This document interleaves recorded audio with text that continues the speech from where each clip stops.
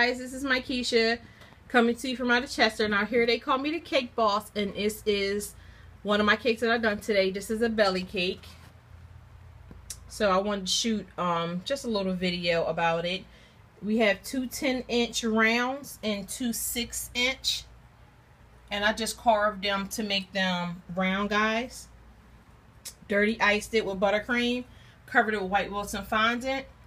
Um, I used the blue fondant from Wilton to make the bows. The chocolate. We have some black flowers. And I use the Tappit letters. So this cake was very simple and very easy to do, guys. And I also steamed it. But it dried up, so I mean, it don't still look ashy, but it's okay. So guys, shoot me a comment. Let me know what you think of my cake. You guys can find me on Facebook at JJ Sweet Tooth, or you guys can find me on my website at jjsweettooth.com. Thanks, guys.